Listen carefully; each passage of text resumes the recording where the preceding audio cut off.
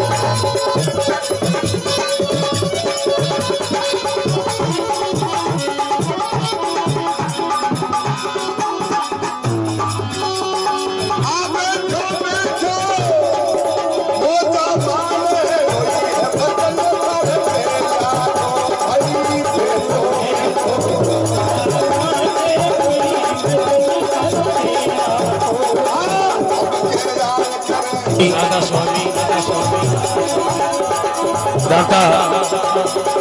बेगाराम जी आपके बीच में